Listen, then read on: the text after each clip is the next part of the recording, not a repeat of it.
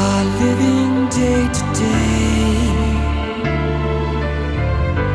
forced to bear the lion's share. People just don't have the time for music anymore, and no one seems to care. My friends have seen the chosen one. I quest for freedom.